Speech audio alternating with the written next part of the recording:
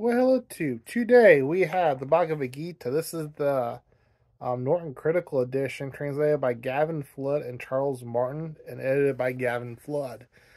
Um, so what I've been doing, I've been uh, going through various Bhagavad Gita translations and giving you a little taste of which ones, uh, or just giving you a little taste of them. That way, you know, if maybe you can't get to a bookstore and you can't, you know, go read through them and see which ones you like or whatever. Maybe the bookstore doesn't have any or doesn't have a wide variety. Give you a little idea of what you're getting yourself into if you order some of these. Because, I mean, this stuff, this isn't the easiest read ever. Um, and it's so chock full of goodness that um, it'd be nice, you know, it might it might be nice to have some taste of various translations. Of course, this being the Norton Critical Edition, um, it's got a it's actually got a pretty brief introduction, but I mean half this book is um, commentaries and essays and things that, I mean, a, maybe a scholar would read, but I, I haven't actually really dipped into it at all. I just don't really care because I don't really care what um, uh, John L. Brockington has to say about it. Just, sorry, I don't. However, this is a really good translation um, for a nice modern translation. And I guess it would technically be in prose, even though it's kind of laid out in verse. Um, I know you can't read it, but like each one of these kind of a sentence or a couple sentences. So it, it's very readable. Um, so since this is a new, uh, a newer translation, and I'm sure has all sorts of copyright laws and things to go with it, I'm just going to read a little. Um, I'm just going to read just a few passages.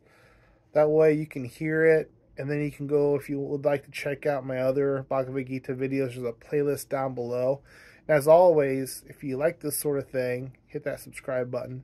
If you don't like this sort of thing, still hit the subscribe button because I have all sorts of different book content on this channel.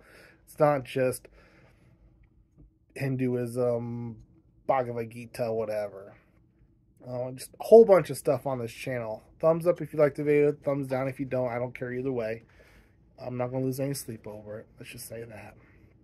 And I have a affiliate link down below where if you use it to buy the Bhagavad Gita, the Norton Critical, which I, I'm bad at this. I did actually look to see if uh, bookshop.org carries it, and I assume they do. I don't know why they wouldn't. But if you use it to buy this book or any other book, I guess small commission, you get out some book and no extra cost to yourself. So it's a win-win. It's a win-win.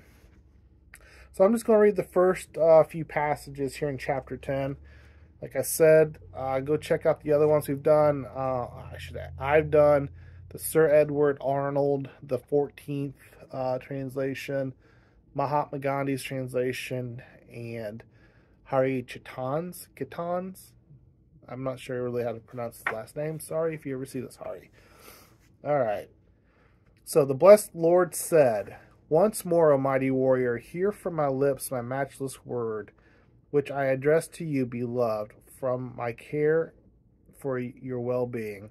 Neither the multitude of gods nor great seers know my origin, for I am the true source of all gods and the great seer in any case.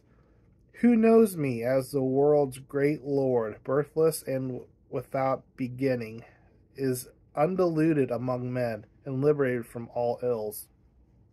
Intelligence, knowledge, clarity, forbearance, truth, and self restraint, tranquility, joy, sorrow, being, non being, fear, and courage, non violence, equanimity, austerity, contentedness, gifts, honor, shame, the diverse states of being spring from me only.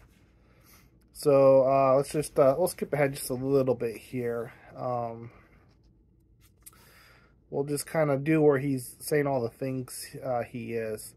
Um, of horses, the one Indra rides, born of nectar of elephants, Indra's lordly Airavata, Of mortal men, I am the king. Of weapons, I am the thunderbolt. Of cows, the wish fulfilling, fulfilling cow, I am Kandarpa.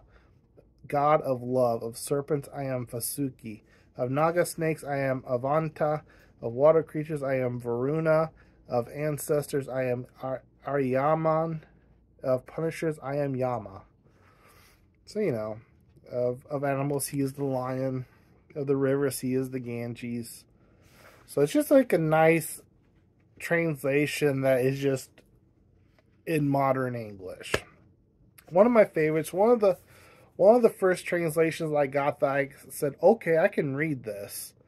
Um, and it's just an awesome, awesome book. So if you are wanting to see what kind of goodness is in this book, don't have to be Hinduism. You don't have to be ISKCON. You don't have to be a Hari. Uh, I guess uh, you don't. You don't have to believe in Krishna. You don't have to believe in it. You don't have to believe in it.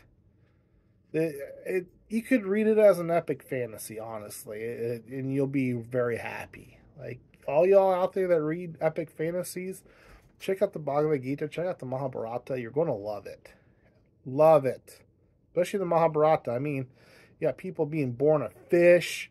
You've got uh, uh, um, uh, the the, uh, the Nagas. You know, you got your water demon. You got you got gods uh, impregnating various people and or things. I mean, it's just it's awesome. It's a great book. So I think that's it for this one, peeps. Uh, the Bhagavad Gita, uh, the Norton Critical Edition, translated by Gavin Flood and Charles Martin, is a very good edition.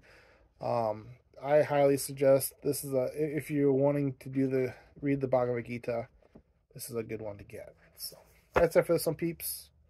Comment down below which is your favorite of the Bhagavad Gita? Because you know maybe I haven't read it yet, and maybe I should go check that one out and do one of these uh one of these little videos. Cheers, peeps.